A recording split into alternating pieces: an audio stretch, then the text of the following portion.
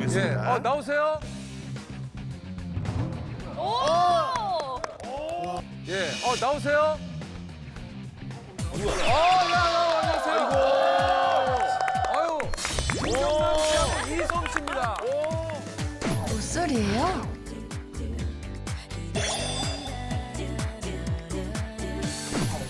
내가 자꾸 너한테 신경 쓰는 게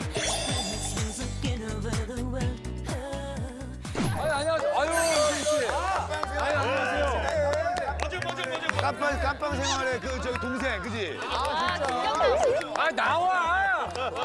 바로 오세요. 안녕하세요. 일로 오세요. 반가워요. 자, 반갑긴 뭐가 반가워. 아, 우리 저 두 분 소개를 좀 잠깐 부탁드릴까요? 예, 자기 소개. 저, 저, 예, 저는 아, 이 형 진짜 차가웠던 거 알지? 왜, 왜? 지금까지 아, 반가워요 그러다 자기 소개. 아, 이 형 정말 아이, 툭 던지. 자기 소개 하시라고. 반가워요.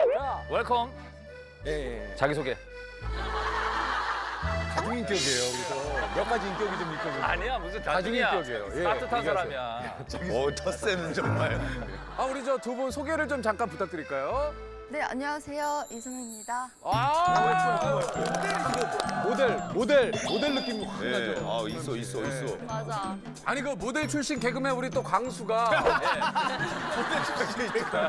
아니 아니 그솜 씨하고 이번에 그 영화를 같이 네네네.